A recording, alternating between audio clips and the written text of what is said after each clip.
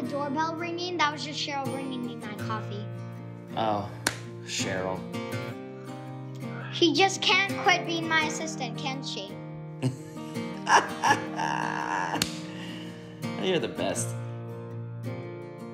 Hey there, welcome to Entertainment Weekly's Around the Table for Two. I am Justin Timberlake, and this is my co star in our new movie, Palmer, Ryder Allen. Hi! That boy, that's Sam. His mama took off. He'll be staying with us till she's back. You know you're a boy, right? Yeah? Okay, we're gonna ask each other some questions, and hilarity will ensue, I'm sure. Ryder, you ready? Yep. What was your first impression of me in our first read together? What was your impression of me and be nice? My first impression, anyways, I was gonna say that you were really, really nice. I had an LOL doll, um, right there, and it had like crazy rock hair that was like up really high and stuff. And then Justin was like, that reminds me of what I think Miss Vivian's hair will look like. I said that to you?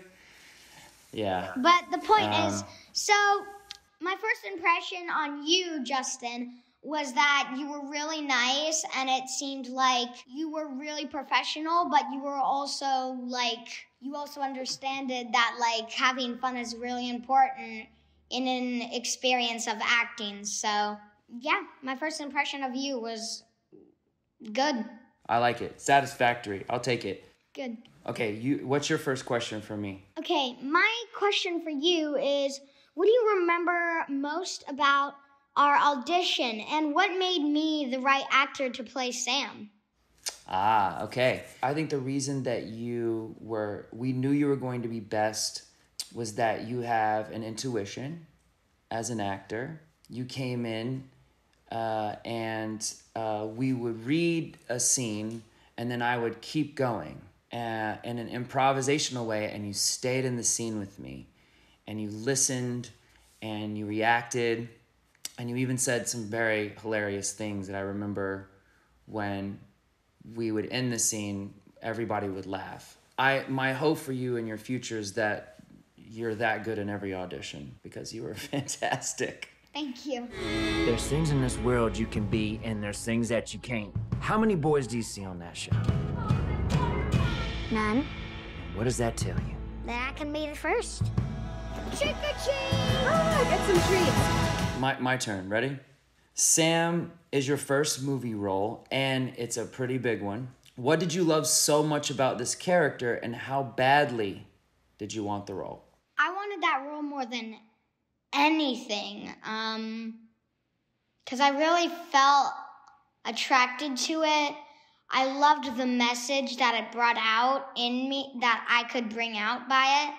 I love that my character really understands the passion of acceptance, if you know what I mean by that. He accepts lots of people for who they are because he knows it's the right thing to do and because just that's what he does. That's Sam. That's that's me. And of course, I was really interested to meet you, Justin. well, thank you, buddy. Um, that was a great answer. Thank you. You want to ask me the next question? Um, sure. So, we did a lot of things together. Brushed teeth, the drives to school, milkshakes, Halloween, etc. What's your favorite memory from our scenes?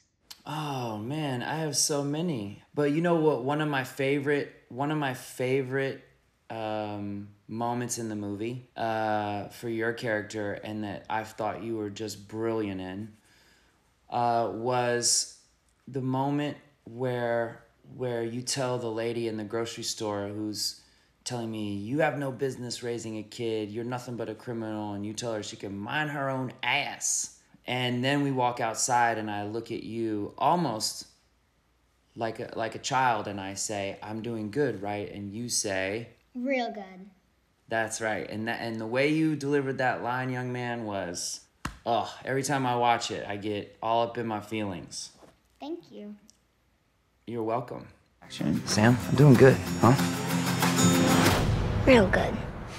Oh, and by the way, really sorry that the doorbell ringing. That was just Cheryl bringing me my coffee. Is it our writer, Cheryl? Yes. Oh, Cheryl. She just can't quit being my assistant, can she? You're the best. Okay. June Squibb plays the grandma figure in Sam's life. What is your favorite memory of working with her and the scenes you shared with her? My favorite scene with June and my favorite experience with her is when we're in the car coming back from church and she's like, Some people just have too much to say. Because I really felt like that was a real grandson and grandma moment, kind of. Where you keep saying, What do they say? And yeah, yeah, that one. Because I don't know, there's just something about that scene that made me feel more connected to June. So that's my favorite scene with her. Also because it's really funny. My mom and dad laughed when they saw that scene. So did I. It's really funny. It's great when you say at the end of the scene, you say, "Jesus Louise." so I am gonna go over here and ask you this question. Palmer helps Sam deal with bullies. Were you ever bullied? And what do you say to anyone else who is getting bullied?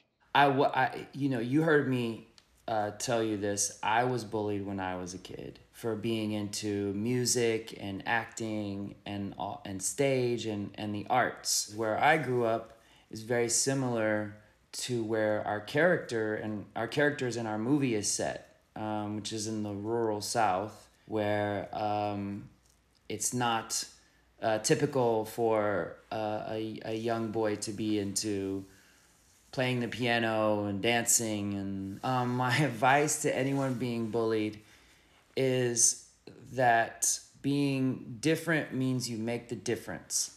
And that is a beautiful thing. And anyone who's bullying you, it's only because they're afraid of who you are. And don't let them take your power away. Well said, Justin. Well, well said. Thank you. Listen to me, son. Kids are mean, especially when they see something that they ain't used to seeing. You ain't nothing but a criminal. You got no right looking after any child. You ready? Next one. What was your favorite thing about Palmer and Sam's dynamic and relationship? Is there a particular scene that you really love with the two of them? I love the relationship between the characters because you just Palmer got right out of prison and Sam still is dealing with kind of a alcoholic mother. So I feel like Sam saves Palmer and Palmer saves Sam. I love that they both care for each other. Palmer knew that that big decision by taking me, he knew that he'd go back into prison, but he knew it was better for me. But he realized that he needed to take you back, me, Sam, back. Sam realized that, not realized, Sam knew that, that Justin did not deserve to go, no, Palmer did not de- did not did not deserve to go into prison. And I think that my favorite scene of them actually is the the the the big one, the crying when you go to jail. Mm. Yes, that that's a very that's an intense scene when when when I bring when I bring you back home and and uh, well, we don't want to give too we don't want to give too much away. We don't want to give too much away. Yeah, but, but I yes. feel like that really shows their bond, and I really that's why it's my favorite scene. So, you also started working in entertainment when you were young. What's your favorite memory? And what's your best piece of advice for me or other young actors? I used to work at MGM Studios uh, Disney MGM Studios in Orlando, Florida when I was 10.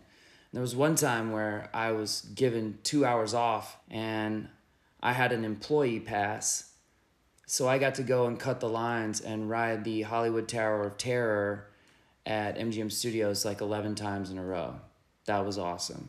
And then there was a second part to the question, right? What was the second part? Um, the second part is, and what's your best piece of advice for me and other young actors? Have fun. Make sure you're having fun. Even if you're doing emotional work, um, it can still be fun. It can still, um, you can still find a way to make the process fun because you're young and you need to have fun. Be a kid. When Palmer gets arrested, Sam, oh, now we're going to talk about your favorite scene that you just talked about. Uh, when Palmer gets arrested, Sam is really upset and you run after the car. Entertainment Weekly is also saying, fantastic scene and work on Ryder's part. Wow. Uh, were you worried about that scene or were you nervous about it? Do you want to talk about, you want to tell a little bit about what we did before the scene? Yeah, I was nervous. Um, we were talking about it and uh, you you were getting me through it because it was like about time for the scene. So you were like talking to me. We were having a great time in the car, but then we were like talking about the scene and it got a little emotional because I mean it happens sometimes. So yes, I do remember that. But I knew you were going to crush it and you did. And and and, and Entertainment Weekly thinks so too. What are you gonna do? Beat up everyone that picks on him? You ain't nothing but a criminal. You just couldn't stay out of trouble, could you? Okay, Ryder, we have time for one more question. You want to ask me uh, one more question? Okay, so I'm gonna do this question, which I think is a really great question for both of us. Um, where where do you think Palmer and Sam will be in ten years? And what would their lives be like? Oh, well, is Cheryl still there? Oh, yeah. Okay, maybe just tell her to write the sequel. Cheryl! Excuse me, Chop Chop here. We need... And where's my coffee? You... It's been like five minutes until I got a sip of that. Okay, everyone, that was Ryder Allen. I am Justin Timberlake. This is Entertainment Weekly's Around the Table for Two. We hope you've enjoyed this as much as we have. And uh, we hope you enjoy our movie Palmer, which will be on Apple TV Plus on January 29th. Ryder, you want to say anything before we uh, sign off? Yes. Cheryl, do you need me to scream any louder? Write the sequel!